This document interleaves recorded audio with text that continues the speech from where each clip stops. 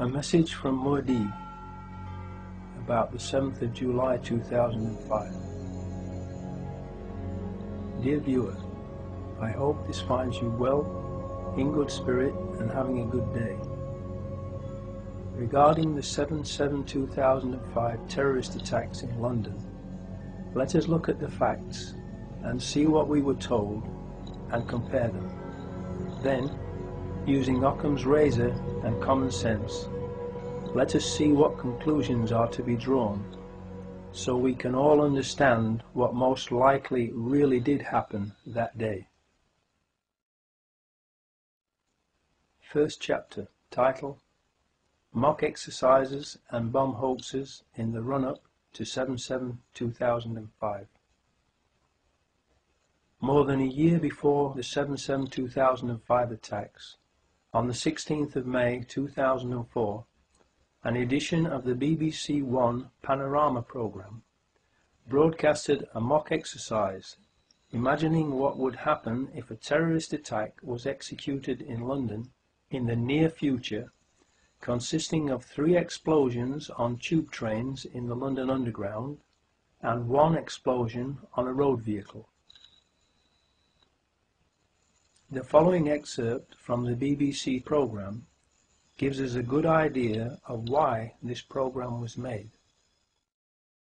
If there are now bombs going off uh, above ground, uh, in this case uh, a lorry being attacked, it could happen anywhere. So the uh, potential for mass panic across not just the capital but the whole country is very much with us. Um, I think therefore we need to look at more uh, serious measures. We do have reserve powers in effect to take over the BBC if we were to wish to and to get them to broadcast whatever we wanted them to broadcast. Those powers are there in the Broadcasting Act. My advice to the Prime Minister would be not to use those, but I think we should be talking to the uh, broadcasters about having the Prime Minister on the air very quickly. You want to disagree with that, Michael, at all? No, I entirely agree that uh, the Prime Minister should be out there. Uh, and we shouldn't be using the powers to bring in the BBC, but we should certainly be talking to the broadcasters about the way in which the coverage is going to be organised. Please note well that he said the coverage is going to be organised. In other words, he was saying that they would write the script for and then edit and control the media coverage of an event in which there were three explosions on London tube trains and one on a road vehicle, if such an event were to take place in the near future. The question that begs to be asked is this. Was that what they were actually in the process of planning and precisely the reason for that programme? This is the kind of terrorist attack the government repeatedly says is going to happen. We've been absolutely clear we can't guarantee that there will never be an attack. It's quite likely that they're planning one now. I am wondering about the purpose and effect of this very programme. This BBC Panorama programme appears to have been used by those behind the 7-7-2005 attack as the means by which the media's response to the attack in the near future was studied, so it could be controlled and directed towards their own ends. Mr. Price plays the bad cop and issues the threat of taking over control of the BBC, and then Mr. Portillo plays the good cop and says that there is no need to do that as long as the BBC behaves itself and broadcasts whatever they want them to. The good cop, bad cop scenario is just theatre, to deceive the viewer. The reality is that the BBC is a government propaganda machine and is already, and always has been, controlled and used by the government. The headlines at 9 o'clock. In the past hour, there have been three major explosions on the London Underground. The first occurred at 10 past 8 on the Piccadilly line between Knightsbridge and Hyde Park Corner. The second at 16 minutes past 8 on the Central line between Tottenham Court Road and Oxford Circus. And the third at 27 minutes past 8 as a train was arriving at Vauxhall Station in Stockwell on the Victoria line. Emergency services have been called to all three scenes. There are no reports available yet on the number of casualties, and the police have said that it's too early to identify a possible cause. London Underground is now closed, and the police are asking people not to travel. 350,000 people alone are making their way towards the city of London at this point. And if the access overload system has been triggered and they can't get onto their mobile telephones, this will have pr profound indications for them, the next of kin. We can now confirm that a tanker carrying chlorine has exploded at the junction of Shoreditch High Street and Commercial Street. Chlorine is extremely toxic in this form, and the police are issuing express warnings to people to stay indoors, close windows, and remain there until the all clear is given. In the days leading up to 7-7-2005, there were hoax bomb scares in Nottingham and Sheffield. Were these false alarm hoaxes meant not only to cause panic and confusion, but also to lull everyone into a false sense of security and into thinking that the initial reports in London on 7-7-2005 would also be false alarm hoaxes, so people would ignore them until it was too late? Second chapter title Peter Power Dupe or Accomplice? Then, on 7-7-2005, we were told on TV by Peter Power of Visor Consultants that they and the private company employing them, who helped choose the scenario for it, were running a mock terrorist drill in the London Underground with practically the same scenario as what actually really happened on that day. In other words, the actual mock anti-terror drill that the BBC Panorama programme of May 2004 had outlined had been chosen by Visor's client to be carried out on the very same day that four Muslim suicide bombers also chose the same scenarios that Visor's client had chosen for the mock drill, causing real and devastating explosions on three London tube trains and one road vehicle. Please think about that unbelievable set of coincidences for a few seconds to let the implications of it sink in. Then, please ask yourself, what are the odds against all of that happening by chance. Just to get this right, you were actually working today on an exercise that envisioned yes. virtually this scenario. Uh, almost precisely. I was up until 2 o'clock this morning because it, it's our job, my own company, Visor Consultants. We specialise in helping people to get their crisis management response. How do you jump from slow time thinking to quick time doing? And we chose a scenario with their assistance which is based on a terrorist attack because they're very close to uh, a property occupied by Jewish businessmen. They're in the city, and there are more American banks in the city than there are in the whole of New York. A logical thing to do. And it, I've still so got how, the... I was going to say, how extraordinary today must feel for you as, as it unfolds. In his TV video clip, Peter Power states that their customer helped to choose the exact scenario. I repeat, Visor's customer helped to choose the exact scenario. To this day, Peter Power refuses to publicly identify the customer who chose the exact scenario. Why?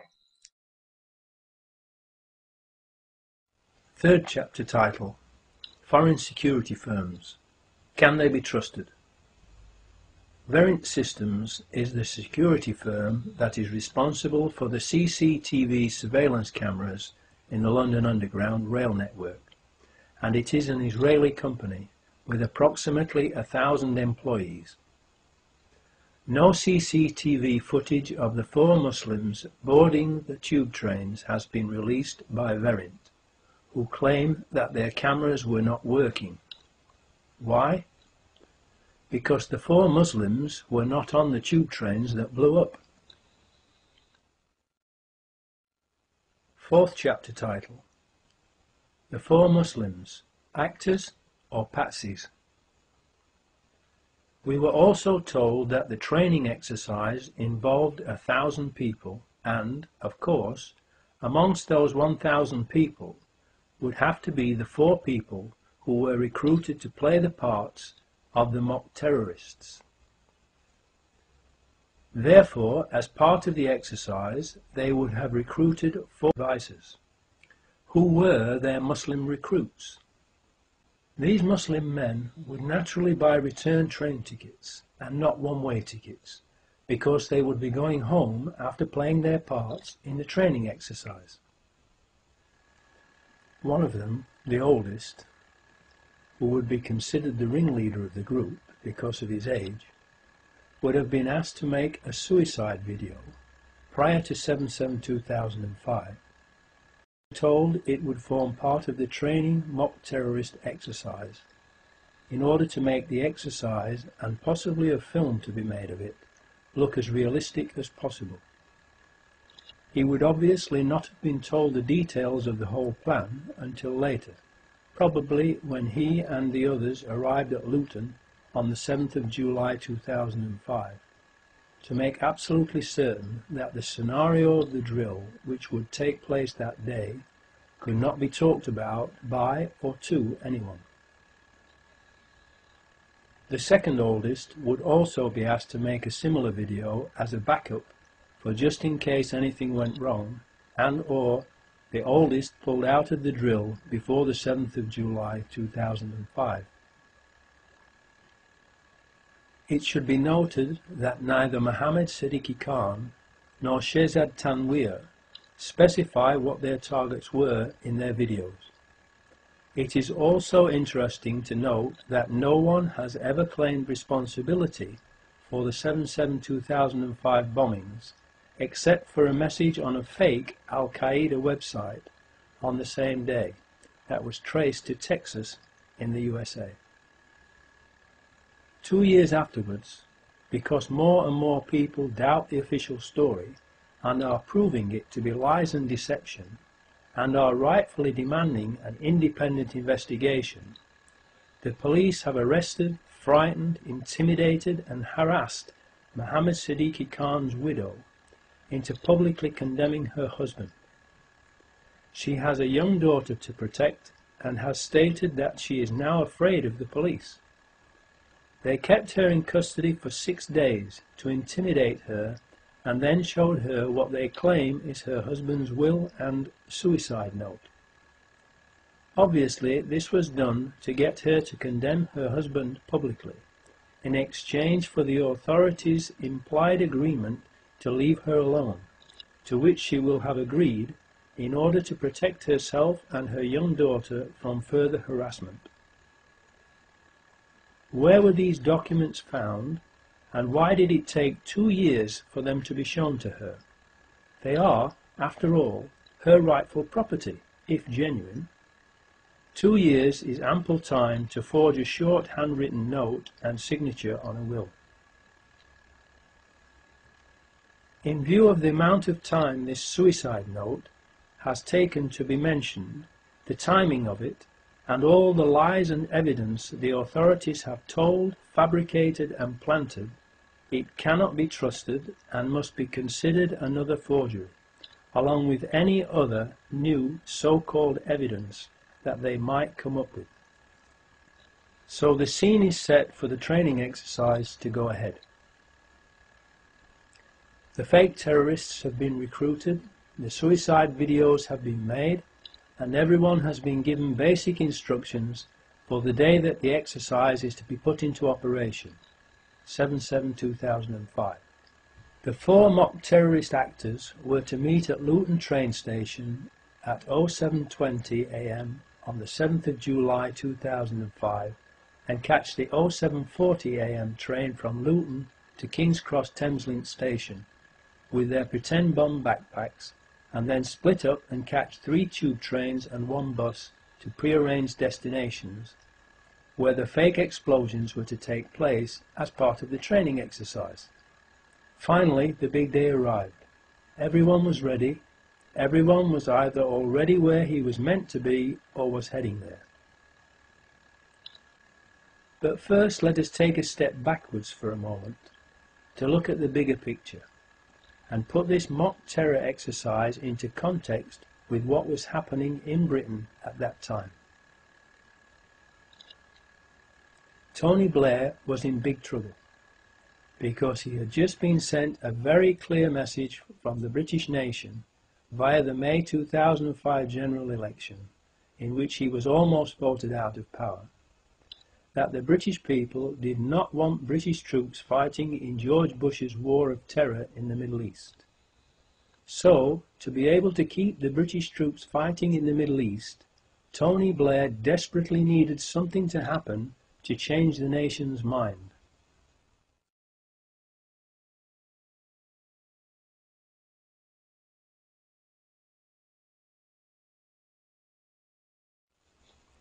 Gleneagles. Tony Blair, George Bush, G8 meeting. Agenda of addressing world poverty, forced on them by Live 8 concerts around the world, but not for long. Their lucrative, evil, phony and very unpopular war on terror, which is really a war of terror, will promptly return to the top of the agenda with four big bangs. No time for the poor. The rich have lots more money to make and people to murder. Leeds, where three of the Muslim actors lived and were recruited, and where the oldest, Mohammed Sidique Khan, was befriended by the local police and was regularly called upon by them to help them to sort out gang rivalry problems. Mohammed was also taken on a tour of the House of Commons by a Leeds MP who befriended him. The perfect patsy, someone who was made to believe he could trust the authorities and that they would therefore not deceive or harm him. Someone who could in turn recruit two other Muslims for the drill so they could all become famous and make a nice bit of clean and easy extra money and show their patriotism by helping the authorities to protect Britain from terrorism? Aylesbury, a fourth Muslim actor who has been recruited, Jermaine Lindsay from Aylesbury, will also meet them in Luton. Luton. Transport security firm ICTS, another Israeli company, has an office just a mile away from the Luton train station which is suspected to be where the Muslim actors received their final instructions before setting off for the train station. The details of which trains to board, which carriages to get into, where to sit, and which bus to catch, where to sit on it, and at what time. London. Commissioner of Police Ian Blair, Rudy Giuliani, Mayor of New York on 9-11, Benjamin Netanyahu, who said 9-11 was good for Israel, Peter Power, and all those taking part in the mock terrorism drill are present in central London, in or around London Underground locations where the explosions take place, and also Tavistock Square. The four men were supposed to arrive together on time at Luton Station and be caught on CCTV at 07:21:54 am, entering the station. But three of them are not on the same video frames as Hasib Hussain, so have to be inserted later using computer software. Hence the obviously and very badly doctored official single frame time-stamped photo that we have been shown from the CCTV outside Luton Station. They can't show them moving because it has been faked. That's why they show only one single frame still photo. Why did the authorities have to fake this photo? They would have had to fake it because three of the actors missed the tube trains that they were supposed to catch and which blew up without them being on board. And so there was no video footage from Verint systems of them boarding the three tube trains for the authorities to be able to use as false evidence to try to prove to the public that the Muslims were guilty. So they had to doctor and show us the fake photo instead. Remember what Michael Portillo said on the May 2004 BBC Panorama programme. The coverage is going to be organised. So far, they are apparently running according to the training exercise plan and on schedule. Fifth chapter title The Ghost Trains.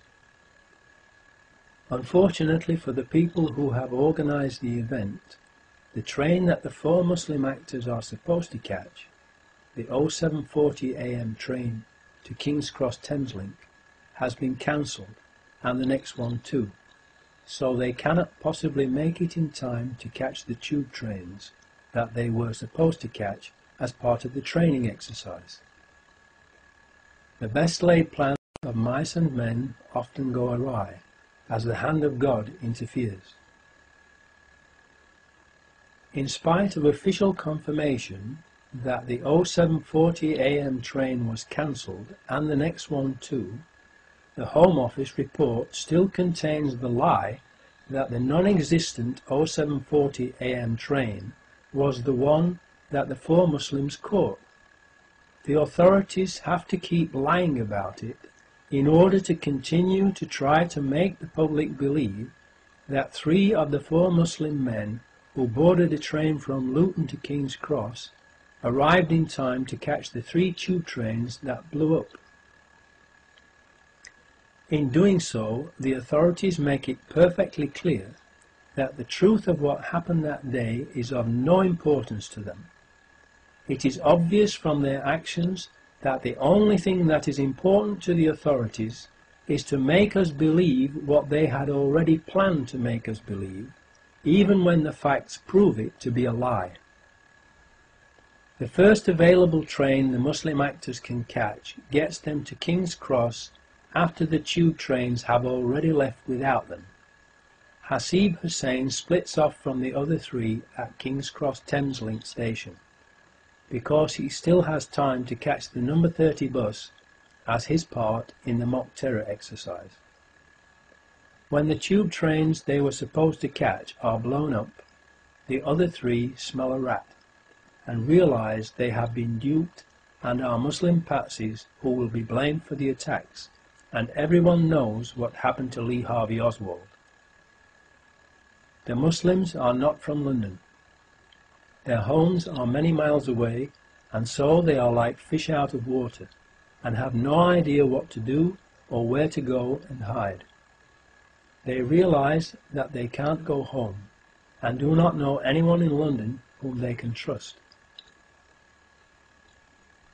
The phones are all not working, first of all because they were jammed and then shut down by the authorities so they cannot phone anyone to tell them what has happened. What can they do to prevent themselves from being wrongly blamed for the explosions?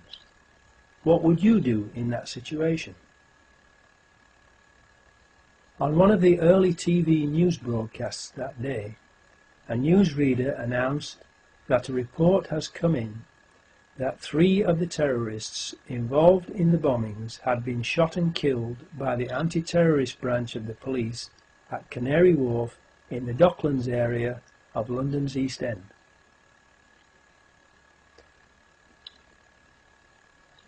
The announcement was made only once and never repeated for obvious reasons.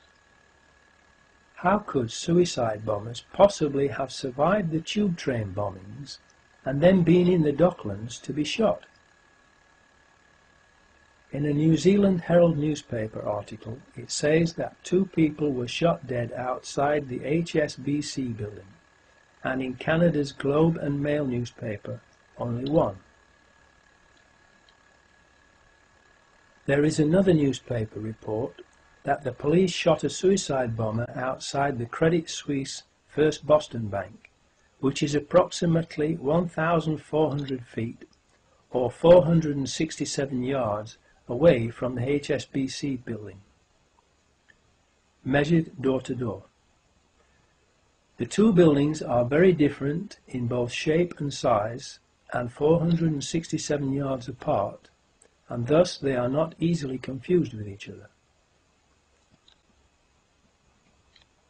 Police were yesterday probing reports a man had been neutralized outside Canary Wharf. It is believed the man was shot dead by police marksmen outside the Credit Suisse First Boston Bank, South London Press.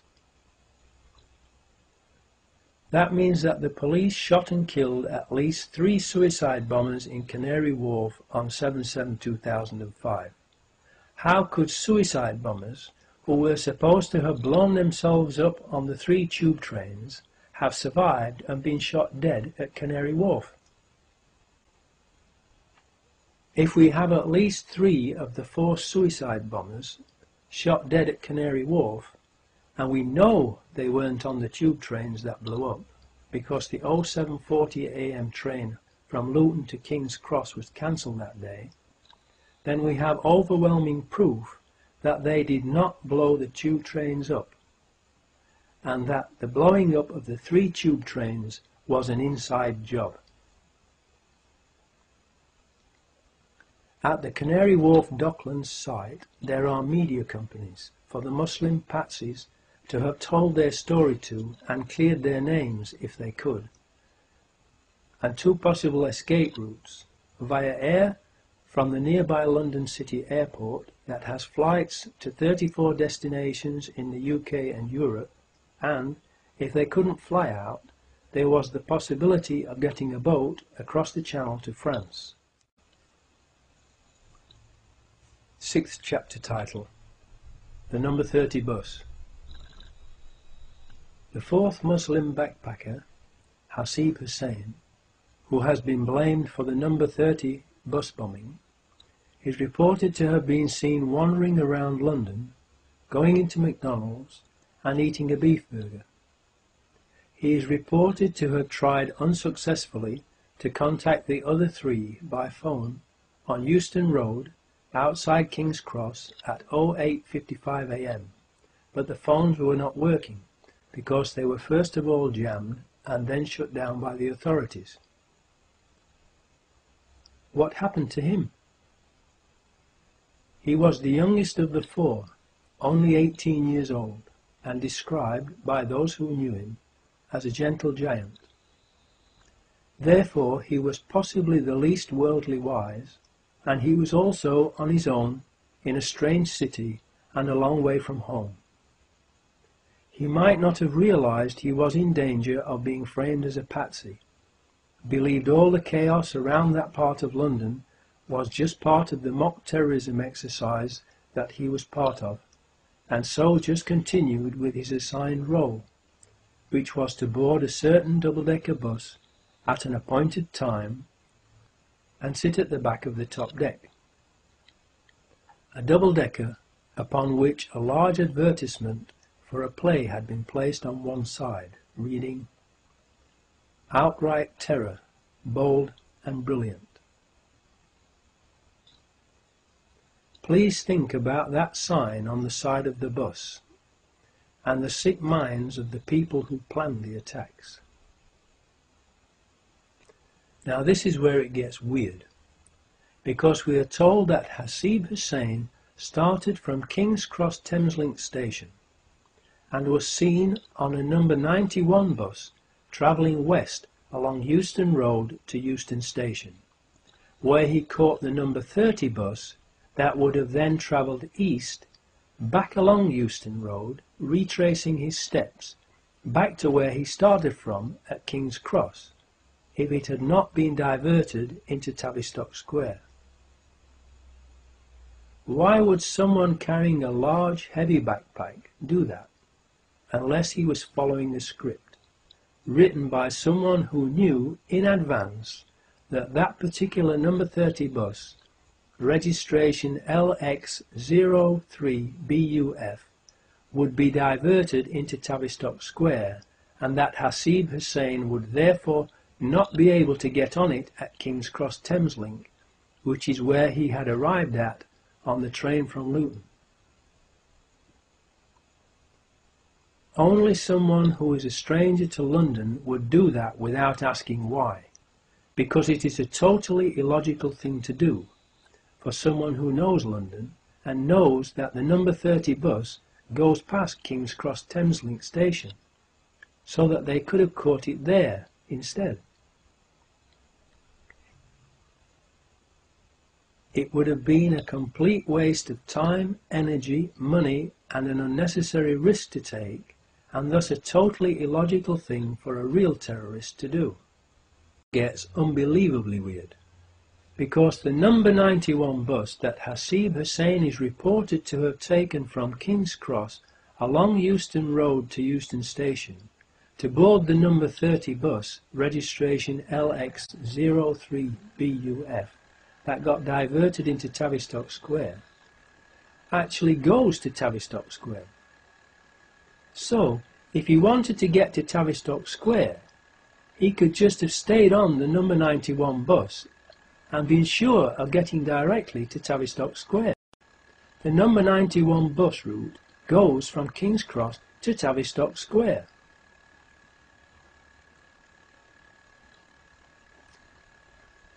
That is conclusive proof that that particular number 30 bus, registration LX03BUF, was part of Peter Power and his customers' mock terrorist drill, pre-rigged with explosives, like the three tube trains, and was pre-planned to be diverted into and blown up in Tavistock Square, rather than blown up by a backpack bomb.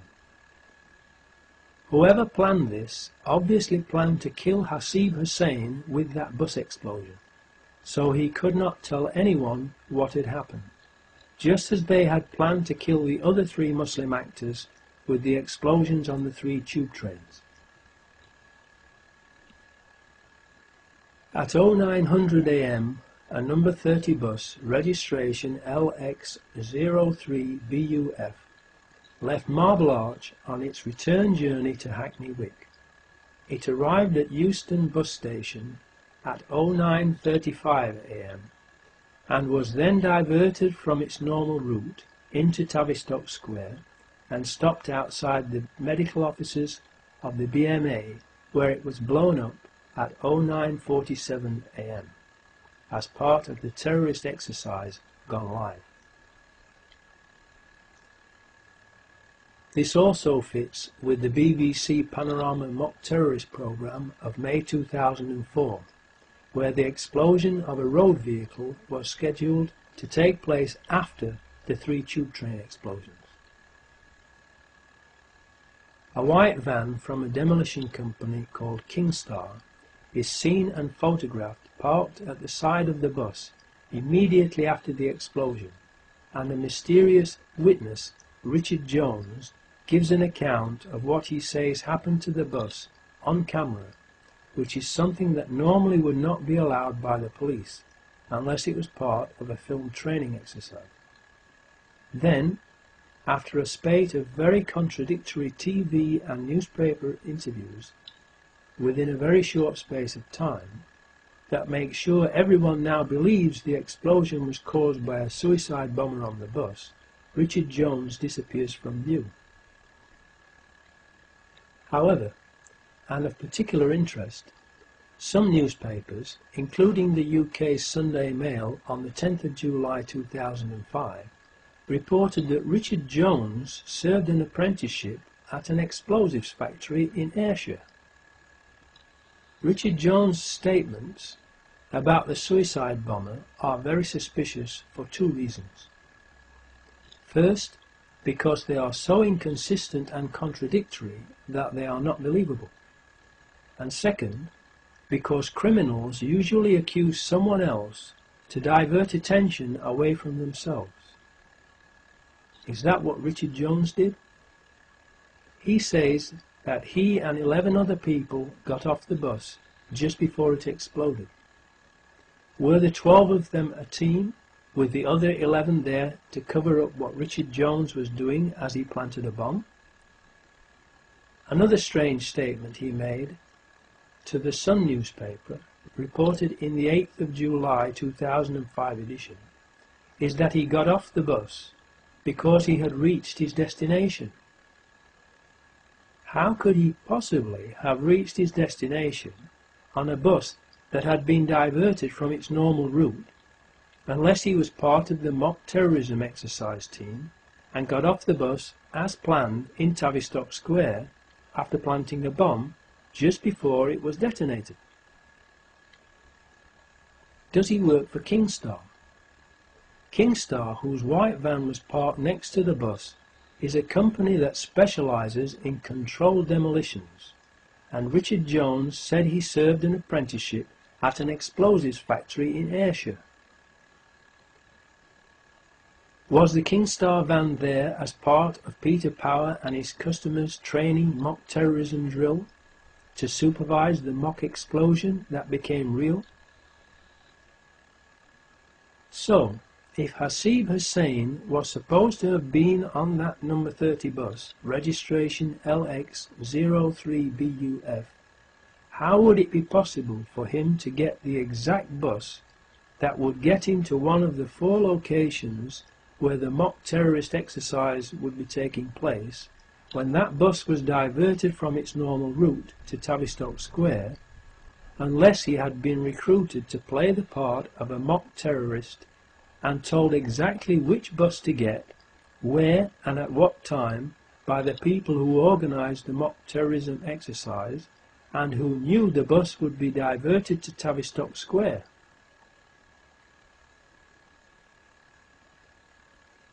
The odds against that happening by coincidence are unbelievable, and thus it is not possible that it was a coincidence. Another unbelievable coincidence is that all of the CCTV cameras at all four of the blast sites were not working that day.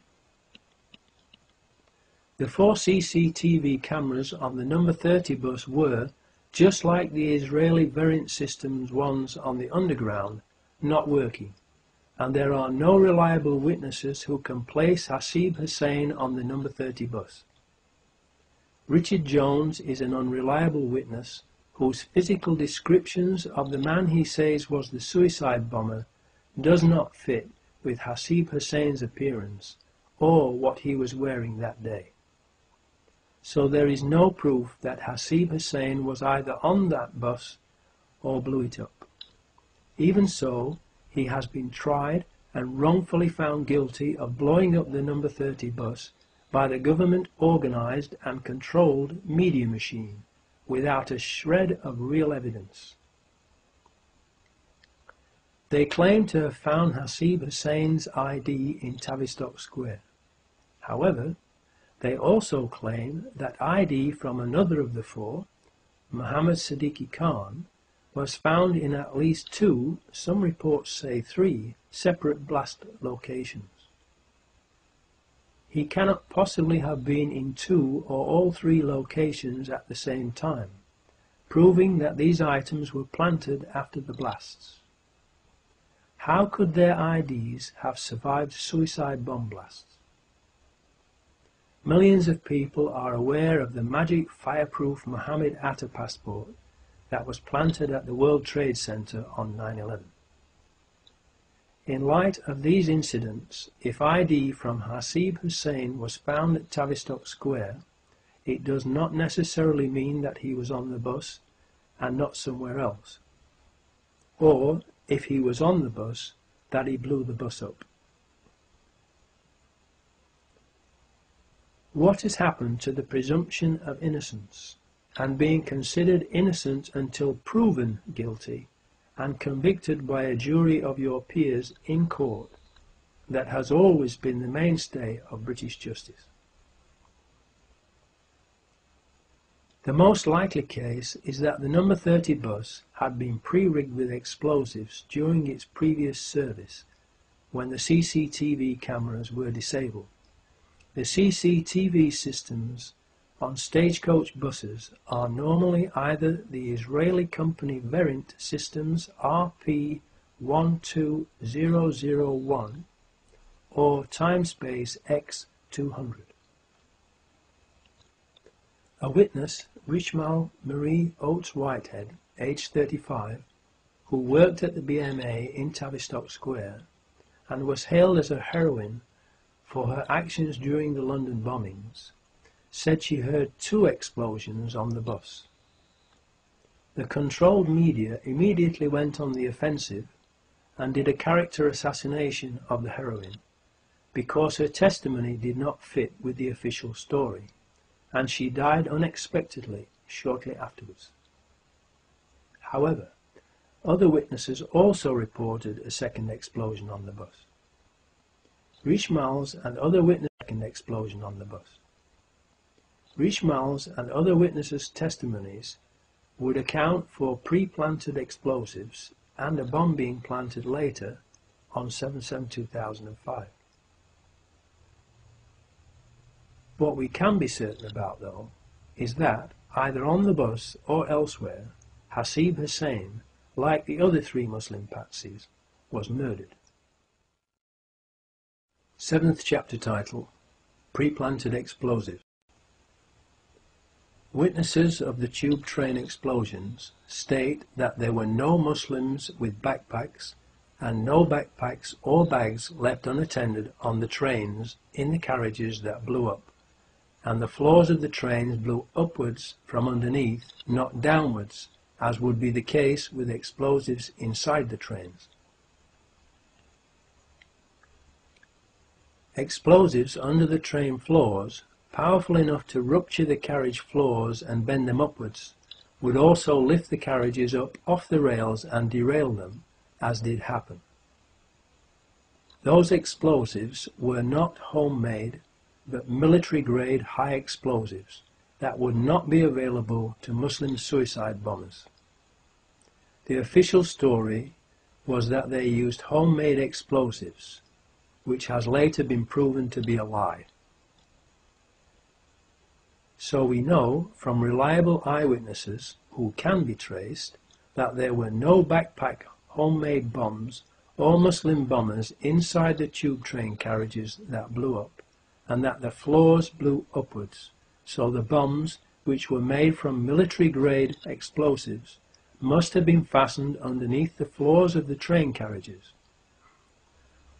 Only people having access to the tube trains during the times that the trains were not running, would be able to plant those bombs under the train floors. Benjamin Netanyahu, the Israeli finance minister, said that he was warned by Scotland Yard not to leave his hotel room on the morning of 7-7-2005 before the first explosion was reported implying that they had foreknowledge of the plan. Scotland Yard then quickly denied being the ones who had provided the warning, but have not told us who did warn Netanyahu if they did not. Why was Benjamin Netanyahu warned, but not the British people who pay their wages and whom they are paid to protect? Was it because it would have spoiled their evil plan to murder British people to change the nation's mind about British troops fighting in the Middle East. Two weeks later, the head of the Israeli Mossad, General Meir Dagan, said that he had warned Benjamin Netanyahu at 08.40 am on 7-7-2005, 10 minutes before the first blast occurred. How did he know what was going to happen in London if Scotland Yard did not warn him? Did he wait to warn Benjamin Netanyahu until it was too late to warn the British people, so as not to spoil their evil plan? Was the London bombing a covert MI5 operation, or an Israeli Mossad operation, or a joint operation by both of them? The British people have the right to know. Tony Blair said on the day of the explosions that we know this was done in the name of Islam, when there was no proof whatsoever of who had done it, therefore indicating he possibly had foreknowledge of the plan and who they intended to blame and the reason why they were going to blame the Muslims. As proof that this was a slip-up and needed covering up, Look at how the BBC later falsely reported his actual words, giving further proof that the BBC is a government propaganda machine and the coverage was organised exactly as Michael Portillo said it would be in the BBC Panorama programme in May 2004.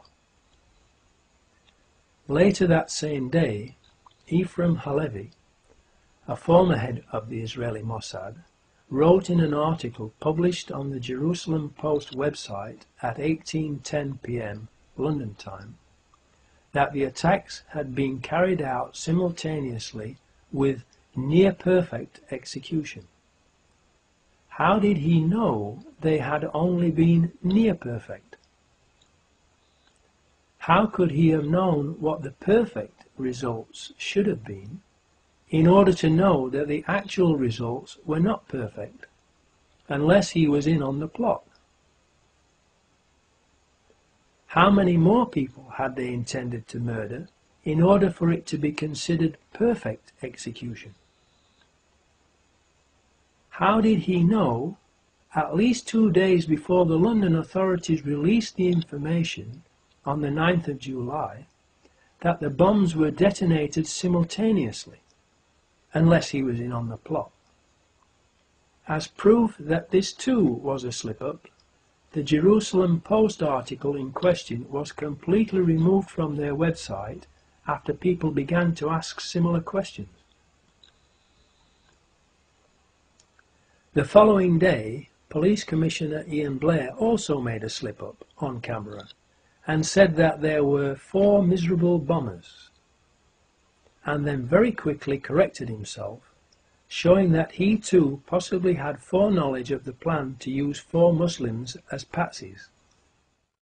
If London could survive the Blitz, it can survive four miserable bombers like this. I'm not saying there are four bombers, four miserable events like this. We are told that the first reports were of an electrical power surge that occurred.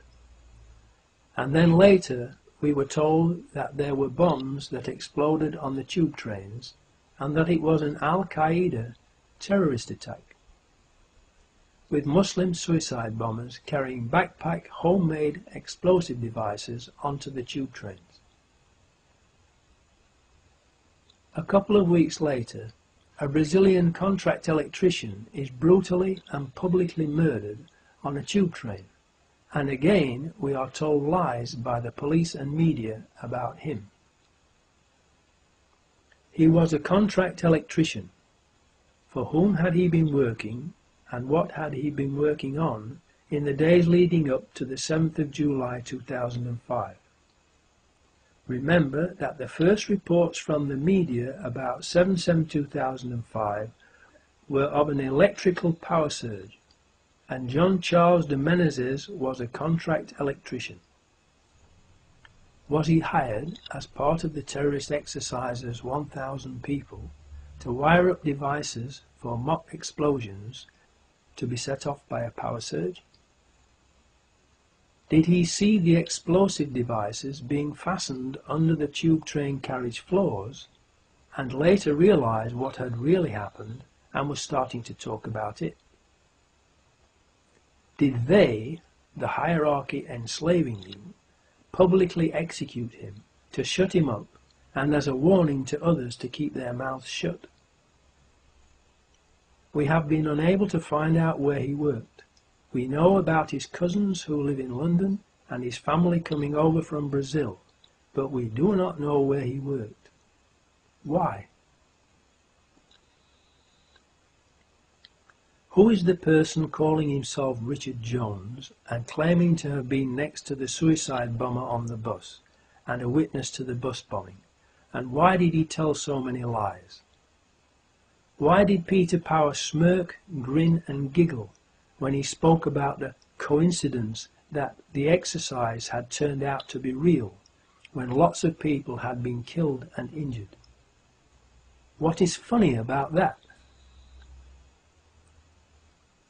The probability of the 7-7-2005 drill and attack coinciding without being planned to coincide in a 10-year period is one chance in 3, 7, 1, 5, 592, 613, 265,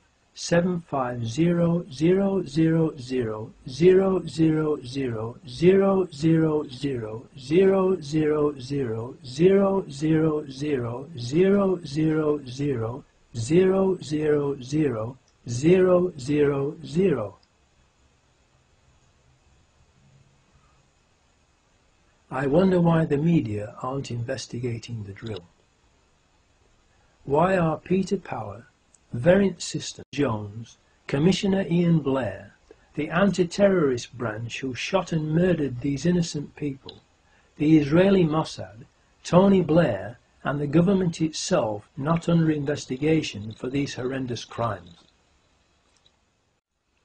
Eighth chapter title Conclusion The times of the trains and tube trains on that day have been carefully checked. The first train after 07.40 am left Luton at 07.56 am and arrived at King's Cross Thameslink station at 08.42 am. The three tube trains that blew up left King's Cross Underground station at 08.35 am, the eastbound Circle Line train number 204. 0842 am, the westbound Circle Line train number 216. 0848 am, the Piccadilly Line train south. It was therefore impossible for any of the four accused Muslims to have caught the tube trains that blew up. If we have at least three of the four suicide bombers being shot dead at Canary Wharf, and we know they weren't on the tube trains because the 0740am train from Luton to King's Cross was cancelled that day, and the photo of them outside Luton Station at 0721.54am is a fake, and that Hasib Hussain was part of the mock terrorism exercise, then we have overwhelming proof that the four accused Muslims were patsies and are innocent, and that it was an inside job, and that, like Lee Harvey Oswald, they too have been murdered to silence them. Whether the bombings were done by MI5, the Israeli Mossad, or both of them and or others has yet to be determined. But the one thing that we can be sure of is that it was not done by four young Muslims. Ninth chapter title, Epilogue. Hopefully, among the security services, there must be at least some decent, honest people who know that the official story is a pack of lies and are troubled by it. Unfortunately, they are all keeping quiet about it. We need them to have the courage to come forward and say what they know and arrest their evil colleagues and bring them to justice if they don't want to be also condemned as accomplices of the government and media criminals who committed treason and mass murder that day and helped to cover it up enabling the Orwellian Big Brother police state plans for Britain to pick up steam. And the real perpetrators, the New World Order government terrorists, to plunge the world into World War III and Armageddon. Why do you think they have made a Big Brother TV program? To program people's minds and get them used to the idea of living under constant surveillance, and to like it and volunteer to take part in it. Why do you think they are called programs? It is because they are used for mind control, brainwashing, programming of the public's minds into obeying and sleepwalking whilst following their New World Order hidden agenda. The sleeper must awaken. The sleeper must awaken. The television is the greatest mind control and propaganda weapon ever invented. Do you think you should be paying for a TV license to fund all their programming of your mind and the lies and propaganda they are broadcasting to deceive, brainwash, control and enslave everyone, including you? Does the TV and watching it not already control most of your life and the way you think? Do you think you should be paying for all those CCTV cameras and their operatives to spy on you everywhere you go so they can enslave you and fine you thereby stealing your money for doing nothing wrong? Especially when they use your own money from those fines and taxes to pay for even more CCTV cameras, so you have even less privacy and freedom. And then they claim that the cameras do not work when there is a real crime being committed by the people who control the cameras. Don't you realize that in paying fines and taxes, you are actually paying for the chains they are using to enslave you with? Wake up, look and see the reality that you are actually paying for them to turn you into their slave. The government is continually and illegally passing new legislation to restrict your freedom and obtain more and more information about you to control you, and yet they themselves are becoming more and more secretive and out of control. They have turned the relationship between the people and government into the opposite of what it should be. It should be public servants serving the people, not the people serving public government masters or, more accurately, dictators. Please, for your own sakes, make copies of this film for everyone you know and for the media outlets in your area to wake them up and let everyone know the truth so that the public will give the decent, honest people in the security services their support and encouragement to tell the truth and arrest their evil colleagues. Long live the fighters. Muad'Dib.